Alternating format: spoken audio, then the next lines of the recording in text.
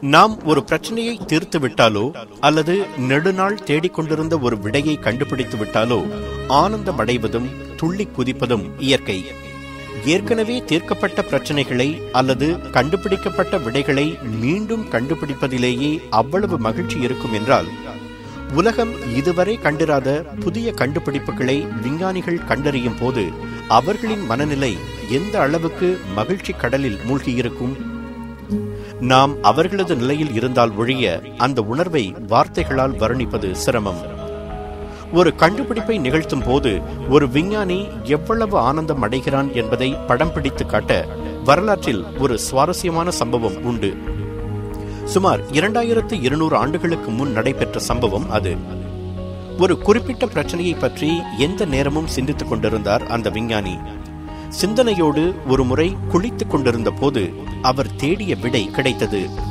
ஆனந்த பெருக்கில் அவர் என்ன செய்தார் தெரியுமா?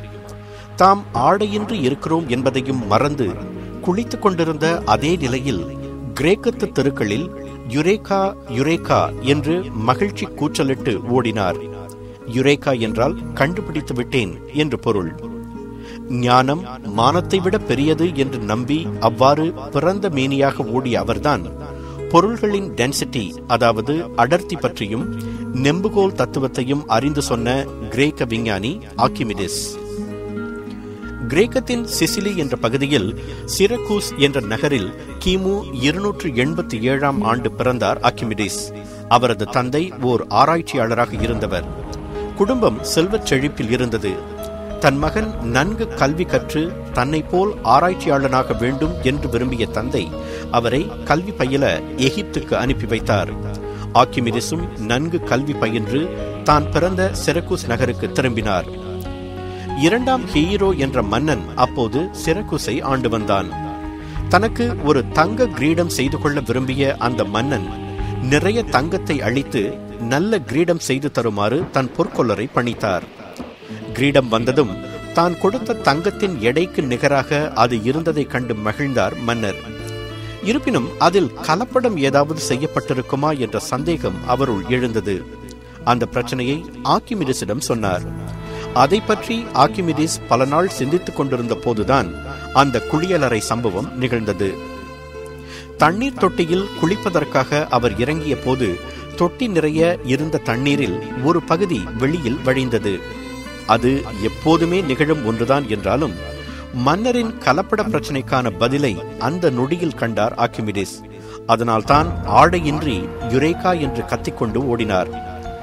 உற்சாகம் தணிந்ததும் மன்னரிடமிருந்து கிரீடத்தை வரவழைத்து அதன் எடையை நிறுத்து பார்த்தார். பின்னர் அதே எடை அளவுக்கு சுத்தமான தங்கத்தையும் வெள்ளியையும் வரவழைத்தார். சுத்தமான தங்கம் எவ்வளவு தண்ணீரை வெளியேற்றுகிறது என்பதை அறிய ஒரு பாத்திரத்தில் தண்ணீரை நிரப்பி அதில் தங்கத்தை போட்டு வெளியேறும் நீரின் அளவை கணக்கெடுத்துக் கொண்டார். அதேபோல் சுத்தமான வெள்ளி வெளியேற்றும் நீரின் அளவையும் கணக்கெடுத்துக் கொண்டார். கடைசியாக கிரீடத்தை பாத்திரத்தில் போட்டு எவ்வளவு தண்ணீர் வெளியாகிறது என்று பார்த்தார். அது சுத்த தங்கத்தில் செய்யப்பட்டிருந்தால் சுத்த தங்கம் வெளியேற்றிய அதே அளவு நீரைத்தான் கிரீடமும் வெளியேற்றியிருக்க வேண்டும். ஆனால் அது சுத்த தங்கமும் சுத்த வெள்ளியும் வெளியேற்றிய நீரின் அளவுகளுக்கு இடைப்பட்ட அளவு தண்ணீரை வெளியேற்றியது. அதன் மூலம் கிரீடத்தில் பொற்கொல்லர் கலப்படம் செய்திருக்கிறார் என்பதை மன்னருக்கு நிரூபித்தார் ஆக்கிமிதிஸ். அந்த கண்டுபிடிப்பின் அடிப்படையில் அவர் எழுதி வெளியிட்ட ஆன் ஃப்ளோட்டிங் பாடிஸ் என்ற புத்தகம் இன்றைய நவீன இயற்பியலுக்கு அடிப்படையாக விளங்குகிறது. ஆக்கிமிடிஸ் கணிதத்தில் மிகச்சிறந்து விளங்கியதோடு வான சாஸ்திரத்திலும் இயந்திர நுட்பங்களிலும் பொறியியலிலும் தன்னிகரற்று விளங்கினார். அவரது மதிநுட்பத்தைக் கண்டு ரோமானிய சாம்ராஜ்யமே மலைத்த ஒரு சம்பவம் உண்டு. ஒருமுறை ரோமானிய கடற்படை சிரக்கூஸ் நகரை முற்றுகையிட்டது.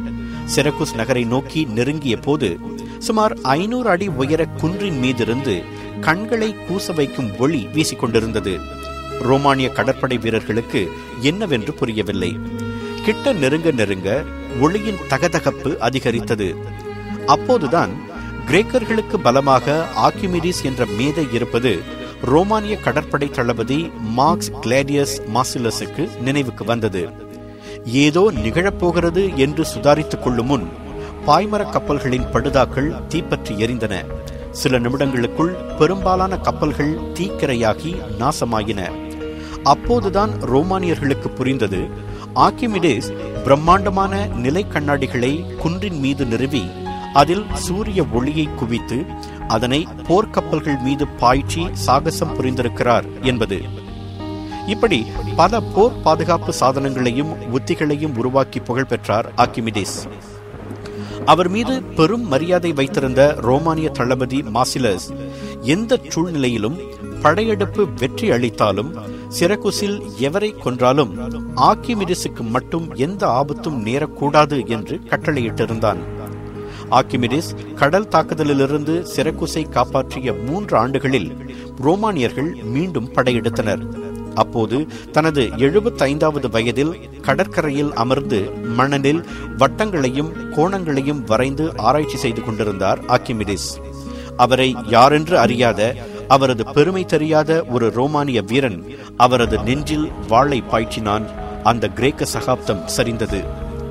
கேட்டபுல்ட் எனப்படும் கவன்கல் எரிந்து விரோதி படைகளை தாக்குவது போன்ற பல்வேறு போர்க்கருவிகளை உருவாக்கியவர் ஆக்கிமிரிஸ் அவர் உருவாக்கிய பல சாதனங்கள் நவீன உத்திகளோடும் வடிவமைப்போடும் இன்றும் பயன்படுத்தப்படுகின்றன.